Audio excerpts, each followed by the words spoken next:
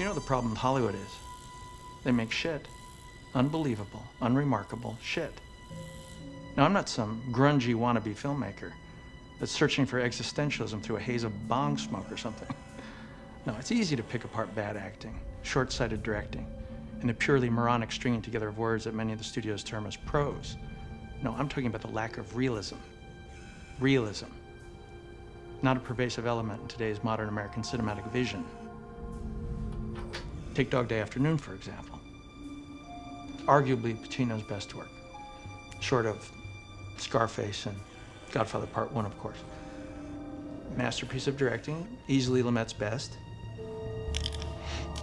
The cinematography, the, the acting, the screenplay, all top notch. But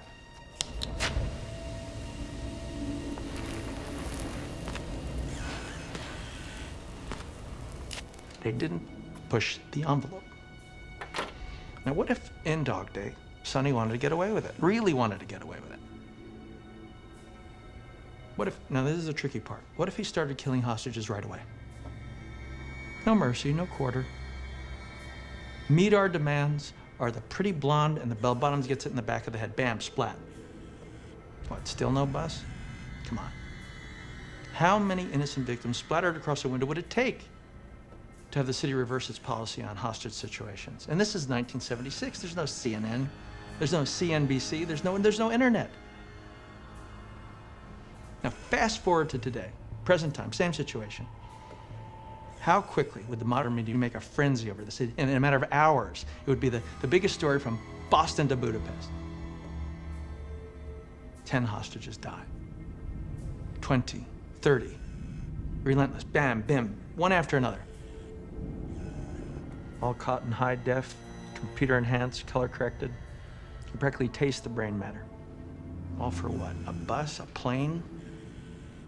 A couple of million dollars that's federally insured?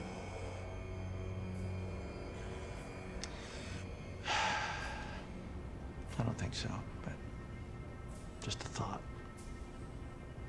I mean, it's not within the realm of conventional cinema, but what if? Well, there's a problem with that movie. Really? It wouldn't work. How come? Audiences love happy endings. Pacino escapes with the money. Boyfriend gets a sex change. Live happily ever after. No? No. Ah, homophobia. Bad guy can't win. It's a morality tale. One way or the other, he's got to go down. Hmm. Well, life is stranger than fiction sometimes.